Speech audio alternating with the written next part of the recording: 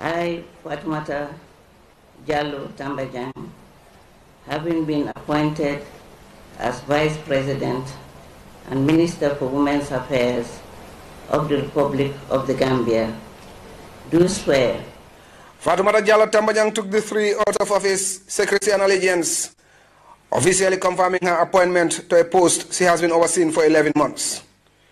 She was first appointed as Vice President, but had to wait for an amendment of the age limit in the Constitution, which barred persons above the age of 60 from holding the post.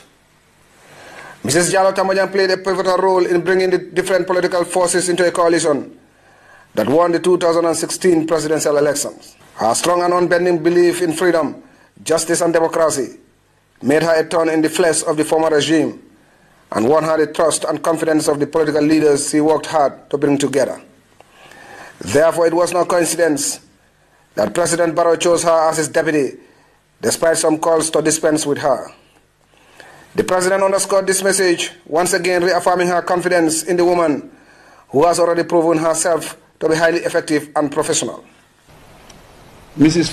Jallow Tambajang is a strong professional woman of sound character and integrity with vast wealth of experience. She has brought to cabinet a wide range of skills and that are highly required for social reconstruction and rebuilding of the economy after years of divisive rule and mismanagement by the former government. I have full confidence in and strongly believe that the lady sworn in today will undoubtedly support the presidency and perform her assigned role as vice president accordingly.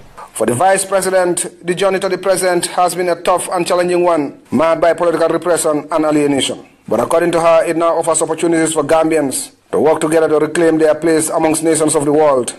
And she is determined more than ever to help actualize this dream. As the Vice President of this great nation, a great task awaits me. But having performed well in the interests of our country under your leadership during the past 11 months has deepened my knowledge and strengthened my capacity to deliver the task more efficiently. Specifically, I have come to learn that with great challenge that comes on my desk, my strive to direct things as they should serve us. I am more than ever determined to work harder and smarter than I have ever done in my life. She also pledged to repay the president's trust in her, fully conscious of the weight of public expectation that weighs so heavily on the administration. But having placed the country firmly on the path of democracy and reform, Mrs. Jallow Tambajang said she will continue to play that elderly role that has come to characterize her since she re-emerged into the political life of the country.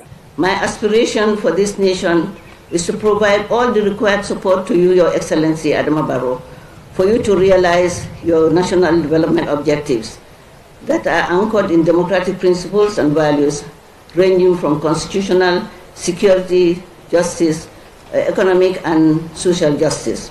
Mrs. Fatoumata Jallow Tambajang is one of the architects of the ruling coalition, having distinguished herself as a fearless advocate of change during trying times.